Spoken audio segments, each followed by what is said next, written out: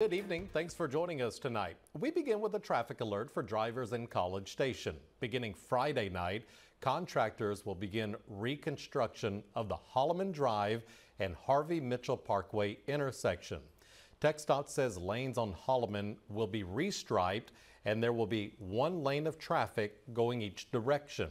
Traffic on Harvey Mitchell Parkway is not expected to be impacted by this.